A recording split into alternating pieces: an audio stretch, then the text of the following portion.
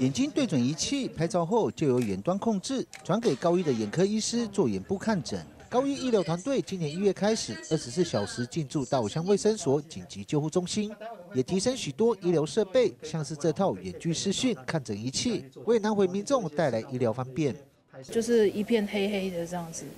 然后一直到他说他要照的时候就闪一下这样。我觉得这个设备就是蛮不错的，因为就是能够带给我们就是在偏远地方的，就是我们像是我们住在偏偏远地方的人的一个方便。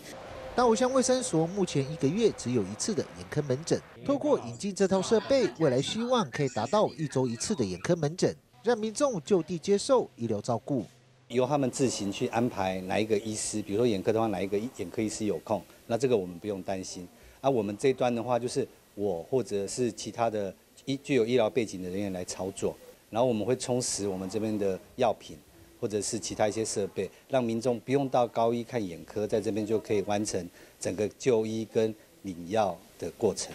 卫生所主任也提到，目前正规划就诊巴士，可以让偏远部落居民透过就诊巴士接送南回民众前往到卫生所就医。原是新闻物局台东大武采访报道。